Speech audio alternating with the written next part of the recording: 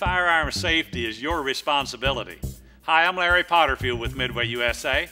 Let me show you the safe way to unload a rifle.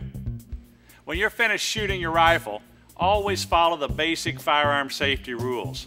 Keep the muzzle pointed in a safe direction. Keep your finger away from the trigger and make sure it's on safe. Never store a loaded firearm in a case or in a safe. Don't bring a loaded firearm into the house. If the rifle has a magazine or magazine tube, first remove it and the ammunition. Then reinsert the tube, open the action, and remove the round from the chamber. On tube-fed guns, a round will often stick in the carrier. Visually inspect the chamber, then cycle the action to make sure the gun is completely empty.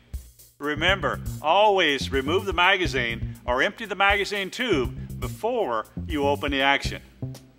If you don't, clearing the round from the chamber and closing the action will load another round from the magazine.